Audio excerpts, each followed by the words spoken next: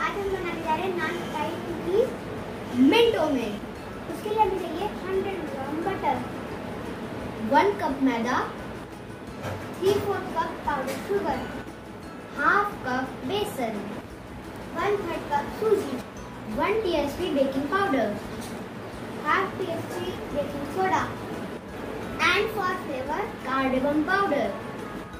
We will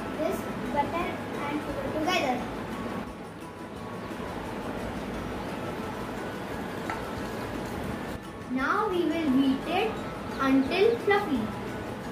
By that time, I will see other ingredients.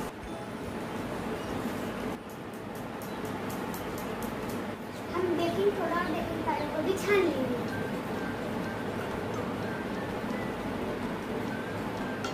See how fluffy it has become. Now we will mix both ingredients and make a dough.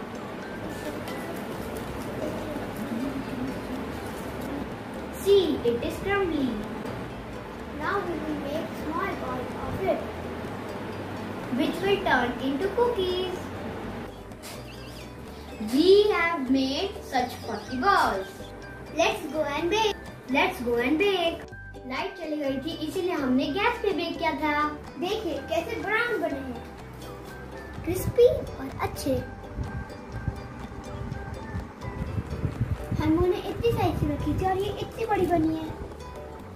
हमने इन cookies को एक stand के ऊपर अंदर इसके रखा और हमने बंद किया गैस को ऑन किया, बंद किया ऑन किया। इसको आपको 20 मिनट्स करना है। ये देखिए, हमारी मम्मी में कुकीज बन चुकी है। अब हम आपको टेस्ट करके बताते हैं।